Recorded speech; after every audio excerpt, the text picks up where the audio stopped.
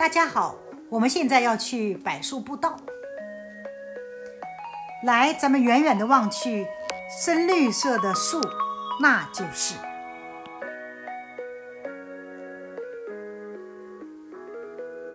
如果你去看雷斯贾灯塔公园，一定会路过这个柏树步道。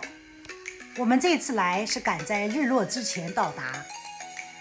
这种柏树呢，也叫蒙特雷柏树。所以我们有人叫它蒙特雷柏树步道。柏树步道一共有四百多米。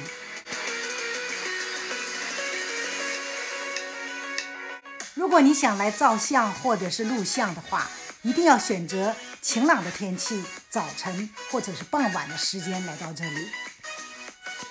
我们这次来柏树步道是很幸运的，因为天气很晴朗，正好赶上日落的时间。我要从不同的角度来照这个柏树步道，因为这个柏树步道是我心目当中最美的一个景点之一。当真正的到达了柏树步道之后，你就会发现你的手机和你的相机都不够用了。在这里，因为树太高，我们不用广角是照不到树的全貌的。那么下面呢，我来给大家介绍一下柏树步道。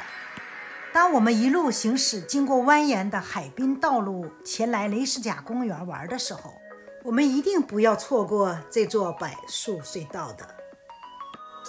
一棵棵巨大的柏树相互交错，阳光透过树丛间洒进来，仿佛置身于虚幻的光影梦境之中，是居拍照的绝佳地点。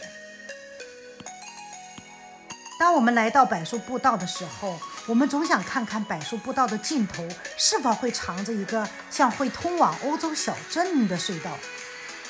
下面我从隧道的开始给大家介绍一下。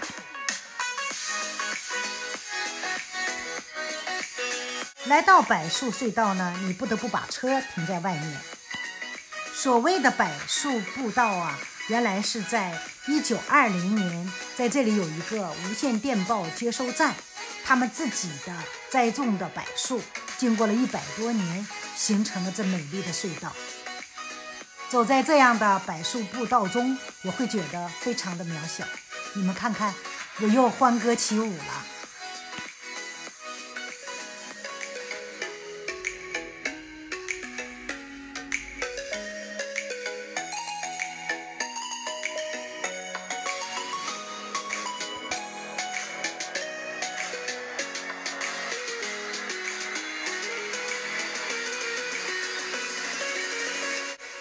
这里的柏树呢，已经有一百多年的树龄了，高呢也要达到十几米高。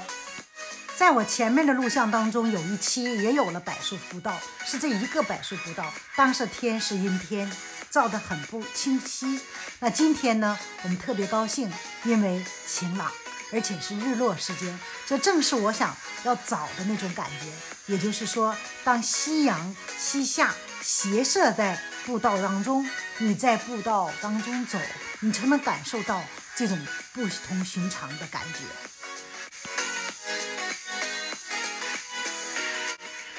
我真的非常喜欢树，尤其是古树。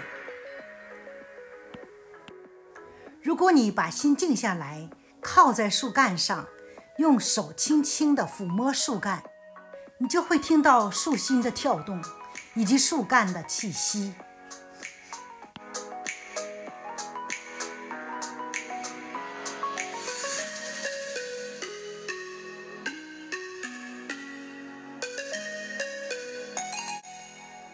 穿过这个柏树步道，隐隐约约你会看见尽头有一座白色的楼房。那这座楼房是做什么用的呢？为什么他家的院子里能形成柏树步道呢？一会儿我们就过去看看。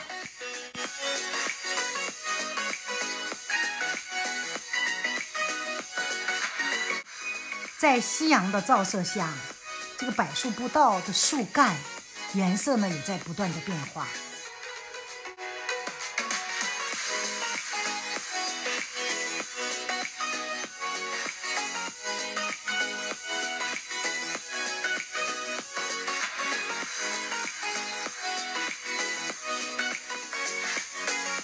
前面的白色的房子呢，已经废弃了。现在，它就是美国广播电台的无线电报接收站。